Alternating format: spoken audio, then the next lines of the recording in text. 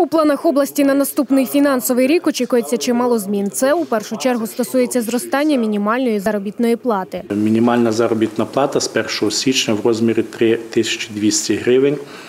Е, Від того і е, міняється фонд заробітної плати. Від того ми будемо мати і додаткові надходження у вигляді податку з доходів фізичних осіб. Зміни стосуються і використання коштів освітньої та медичної субвенцій. Якщо кошти від першої підуть на оплату праці вчителям, то медична виключно на утримання медзакладів. Але з чим пов'язані такі зміни, директор департаменту фінансів області Петро Лазар відповісти не може. Всі інші видатки, котрі е, буде мати та чи інша е, освітня установа, будуть е, фінансуватися за рахунок коштів місцевих бюджетів. По установах е, медицини е, е, енергоносії буде оплачувати місцевий бюджет, всі інші видатки за рахунок коштів медичної субвенції. Чим викликані такі зміни, ну не можу сказати.